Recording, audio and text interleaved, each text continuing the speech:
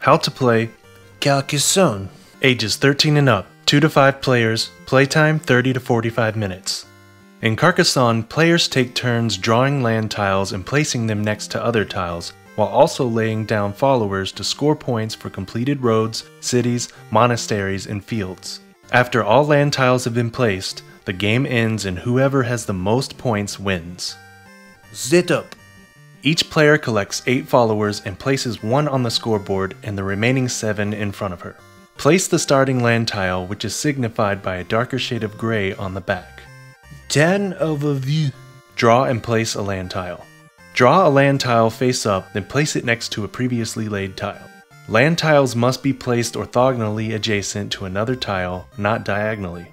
Depending on the tile, you will have a few options when placing it. You could connect a city, but not like this. A road, but not like that either. A monastery. Alright, you're just messing with me, right? Or a field. Okay, I give up. Tutorial over. In the rare case that you draw a land tile but cannot connect it anywhere, throw it on the ground and leave it in a fit of rage. Or you could just simply place it in the box until the next game. Place the follower.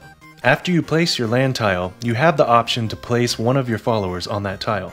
However, you cannot place your follower on a previously laid tile. You can place your follower on one of the following places. On a city, making your follower a knight. A road, making her a thief. A field, making him a farmer. Or on a monastery, making her a monk. Note that you may not place your follower anywhere that has a connecting road, city, or field with another follower on it already. However, you could place your tile over here, add your follower, connecting the cities later, therefore sharing the whole city with another follower. You could do the same with roads and fields too. Strategeries. Scoring the points. Throughout the game, you will be able to score points for completed cities, roads, and monasteries. Sorry, Fields, you gotta wait until the end of the game. Oh. You will keep score throughout the game using the provided scoreboard. When you complete a city, you get 2 points per tile plus 2 points per banner. That's that shield looking thing. Then take your follower back into your supply.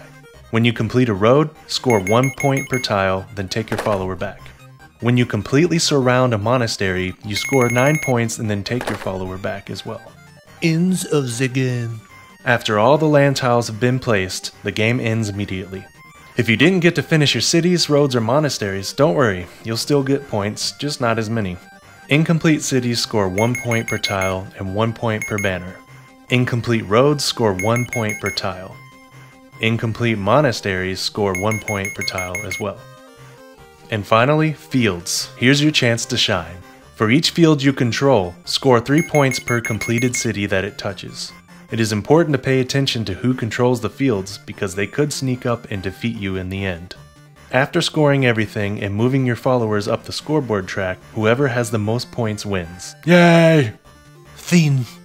If you found this tutorial helpful, please subscribe below and share it with your friends. If you like to look at pictures, follow Board Game Tutorials on Instagram. Don't follow us on Twitter, because we aren't on Twitter. Ain't got no time for that. Bye!